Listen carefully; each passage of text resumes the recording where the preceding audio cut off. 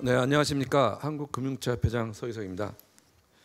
작년 투자의 재설계라는 주제로 성황리에 마치고 올해 더욱 흥미로운 어, 주제로 돌아온 STO 서밋에 함께 하게 되어 매우 기쁘게 생각합니다.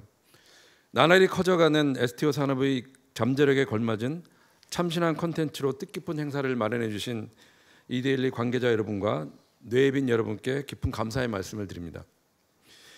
오늘 이 자리에는 STO 산업의 질평을 넓히는 전 세계 전문가들이 한데 모여 STO의 가장 최근 이슈와 다양한 활용 사례가 다루어질 것으로 기대합니다.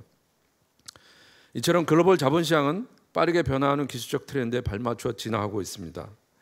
싱가포르는 이미 토큰 증권을 제도권에 편입하여 전통적 증권과 동일한 규제를 적용하고 있으며 일본 역시 2020년 금융상품 거래법 개정을 통한 토큰 증권 제도화 이후에 현재 토큰 증권의 발행 금액이 1,200억 엔을 초과하였습니다.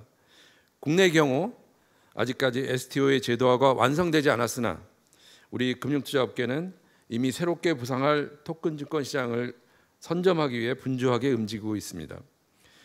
증권사, 은행, 조각투자업체 등으로 이루어진 협의체가 이미 다수 구성되었으며 일부 증권사는 독자적으로 발행 플랫폼을 구축하는 등 STO의 본격적 태동을 위한 인프라가 활발하게 조성되고 있습니다.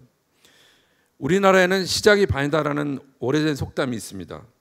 기술적 인프라를 이미 확보하고 있는 우리나라의 특성상 토큰 증권의 제도권 편입이 신속하게 이루어진다면 국내 STO 산업은 시작과 동시에 빠르게 성장할 수 있을 것입니다.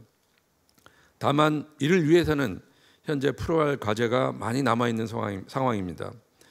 토큰 증권 제도화의 기초가 되는 자본시장법 및 전자증권법의 조속한 개정은 물론 규제의 합리화 등으로 STO 산업이 활성화될 수 있도록 업계와 당국 간의 긴밀한 소통이 요구됩니다.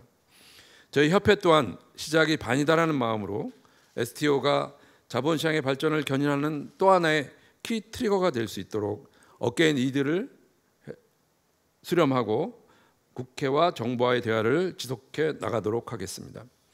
근본 STO 서밋에서 논의되는 내용과 내용과 주제를 귀담아 듣고 건의할 내용이 어떤 것인지 꼼꼼히 살피도록 하겠습니다. 다시 한번 오늘 이 자리를 마련해 주신 이데일리 관계자 여러분과 바쁜 시간에도 자리를 빛내 주신 네빈 여러분께도 감사의 말씀을 드리겠습니다. 무더운 날씨에 여러분께 행운이 함께하기를 바라겠습니다. 감사합니다.